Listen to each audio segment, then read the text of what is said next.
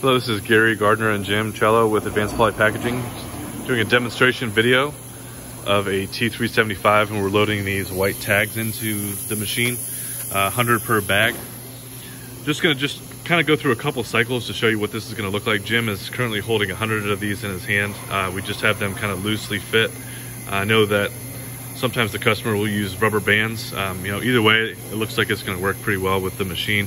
So I do have an 8 by 10 bag loaded up on here.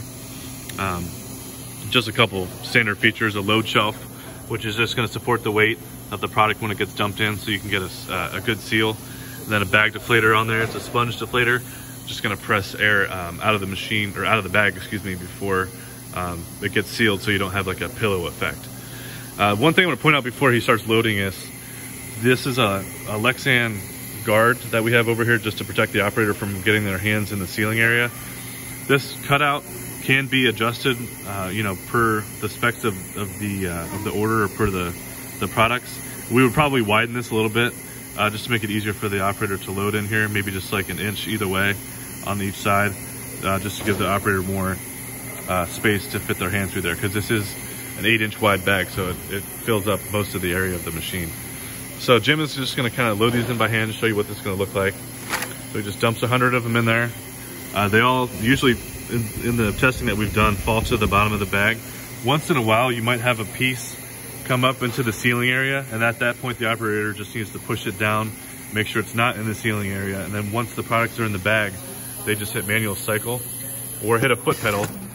It'll seal it up and then drop.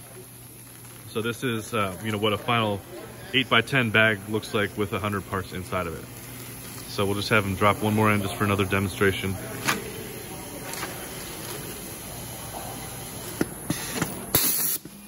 And there you have it. Originally, our thoughts were we might have to increase the pass-through of the machine, uh, but the more that we've tested it, we're actually getting 100 pieces in there pretty easily without having any issues um, with the spacing in between here.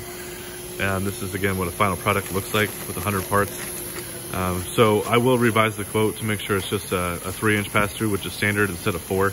Um, and as you can see, it, it actually works very well. So if you have any further questions, you can reach me at garyg at advancedpoly.com. Thank you.